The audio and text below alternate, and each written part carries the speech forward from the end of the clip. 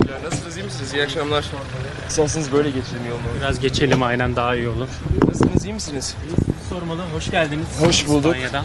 Eyvallah sağ olun. Teşekkürler. Ee, bir aracı bineceğim de ee, bir şeyler... Muhabbet edelim Alvaro Tabii, Mort- tamam. Morte ile de beraberdiniz. La Casa Papel'in profesörü. Evet Alva, Alvaro ile çok güzeldi. Ee, güzel geçti. Güzeldi. İspanya güzeldi. Evet Antonio Banderas'la da tanışmışsınız. Orada beraber bir projede yer alır mısınız? Son durum nedir? Yani bakalım bilmiyorum ama ee, şey yani bir görüşmeler oluyor. O yüzden güzel gidiyor.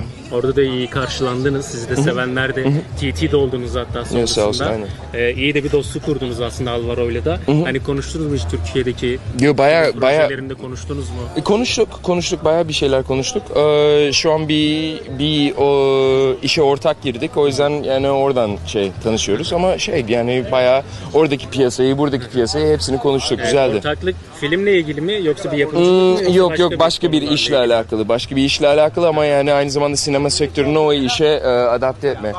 Çok özür dilerim ya benim bilmem lazım Tamam, yoksa bekliyorlar. önemli. Çok sağ olun. Rica Kusura bakmayın beklettim sizi. Fotoğraf alayım mı hemen? Tabii tabii tabii.